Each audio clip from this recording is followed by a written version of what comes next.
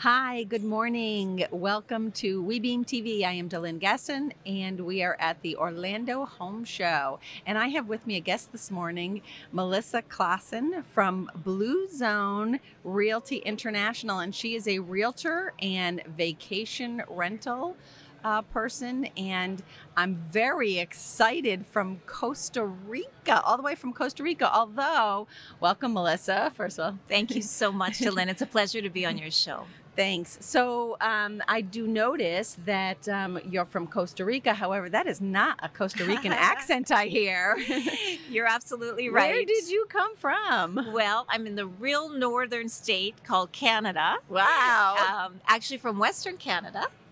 And uh, my husband and I moved out here. Oh my goodness, it's been 13 years already. To Costa Rica. To Costa Rica. We Nice. caught what I call we caught the Costa Rican bug, and we ended up um, just changing our entire life and making a brand new one in Costa Rica in um, Manuel. Antonio uh, area of Costa Rica. So, how exciting is that? So, you did, I think, what so many people dream about doing, right? Just, okay, we're done with the cold. We finished all this, except most of them get all the way to Florida and stop. You kept right on going and you went down to Costa Rica. How nice. And obviously, no regrets. No regrets. How can you when you wake up every morning and it's gorgeous, right?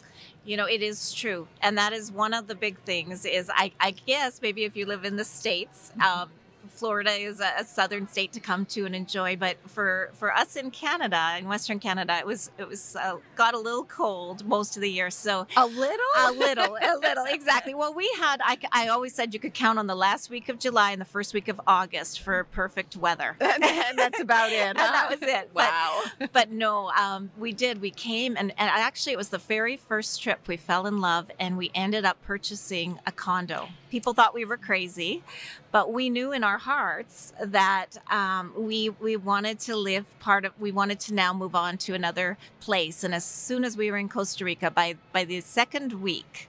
We knew that we had found our place to um, have the, the next part of our lives and um, continue working, and it's uh, and here we are today. So, um, does your husband work in the business with you?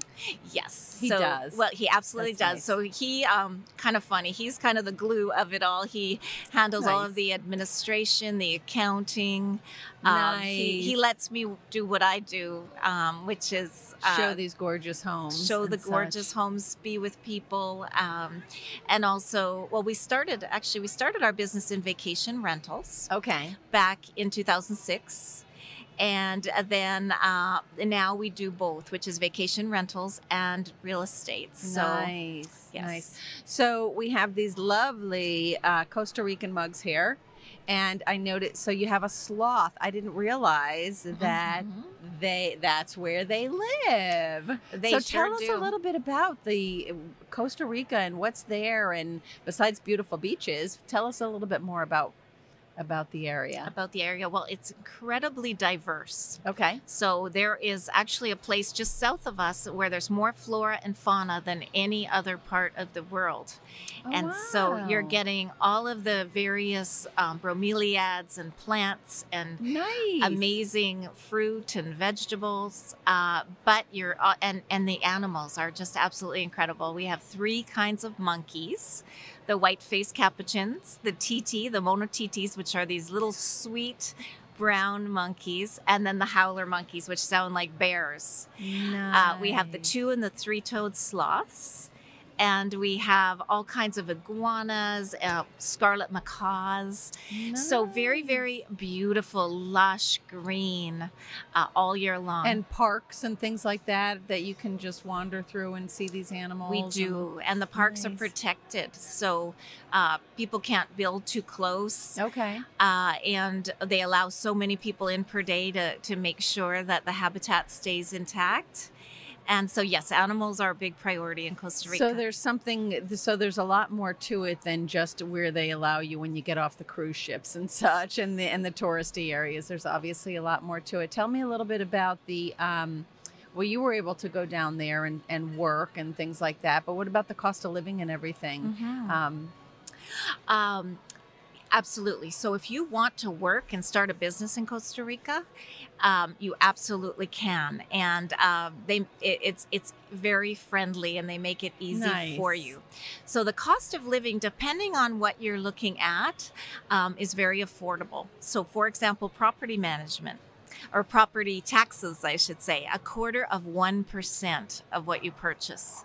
So when you compare that to property Ah, taxes in the United States or even Canada, um, you're paying a lot less. Right, if you're a lot less. a lot less. If you're purchasing fruit, fruit and um, a lot of the local produce, it's a Mhm. lot less as well. Oh, nice. So, So, um, it's yeah. very reasonable then.